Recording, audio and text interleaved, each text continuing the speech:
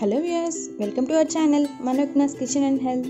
ఈరోజు చాలా tasty recipe halwa puri చాలా ఈజీ అండ్ టేస్టీగా ఇంట్లోనే ఎలా తయారు చేయాలో ఇప్పుడు చూసిద్దాం. ఇప్పుడు స్టవ్ మీద ప్యాన్ పెట్టుకొని ప్యాన్లో త్రీ స్పూన్స్ నెయ్యి వేసుకుంటున్నాను.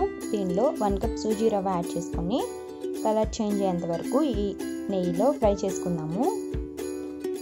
గోల్డెన్ కలర్ వచ్చిన తర్వాత స్టవ్ ఆఫ్ చేసేసుకున్నాము ఇప్పుడు మనం ఫ్రై చేసుకున్న రవ్వని ప్లేట్లోకి ట్రాన్స్ఫర్ చేసేసుకున్నాము ప్యాన్లో టూ కప్స్ వాటర్ యాడ్ చేసుకుంటున్నాను.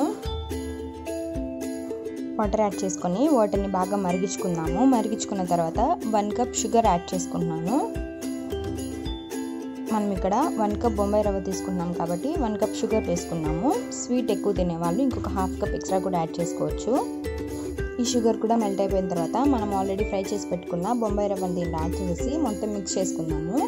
ఈ హల్వా ఫైవ్ మినిట్స్లో కుక్ అయిపోతుంది. ఇప్పుడు మనం యాలకుల పొడి వేసుకొని మొత్తం ఒకసారి మిక్స్ చేసుకున్నాము. స్టవ్ ఆఫ్ చేసుకుందాం ఇంకా.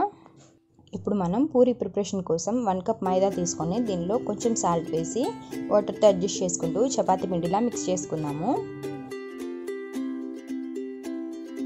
ఈ మిక్స్ చేసుకున్న పిండిని హాఫ్ అన్ అవర్ మనం నానబెట్టుకుందాము. ఇప్పుడు ఒక పాలిథిన్ కవర్ తీసుకొని దీనికి నెయ్యి యాడ్ చేసుకొని పూరి కోసం మనం కొంచెం పిండి తీసుకొని ఇలా చేత్తోనే ప్రెస్ చేసుకుందాము.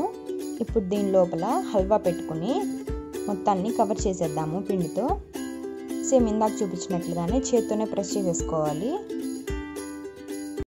సేమ్ అలాగే మిగతా పిండిని కూడా అలాగే పూరిలా చేసుకుందాము.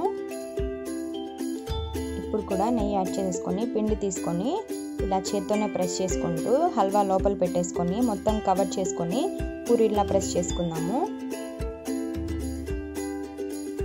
పూరీలు ప్రిపేర్ అయిపోయినాయి కదా ఇప్పుడు మనం డీప్ ఫ్రై చేసేసుకున్నాము ఇప్పుడు స్టవ్ మీద ప్యాన్ పెట్టి ప్యాన్ లాల్ హీట్ అయిన తర్వాత మనం ఆల్రెడీ ప్రిపేర్ చేసుకున్న పూరీల్ని ఆయిల్లో వేసేసుకోవాలి.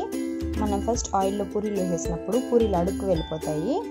కొంచెం సేపు అయిన తర్వాత పైకి ఫ్లోట్ అవుతూ ఉంటాయి. సో మనం కలర్ చేంజ్ అయిన తర్వాత ప్యాక్ టర్న్ చేసుకుందాము. ఈ గోల్డెన్ కలర్ వస్తే సరిపోతుంది.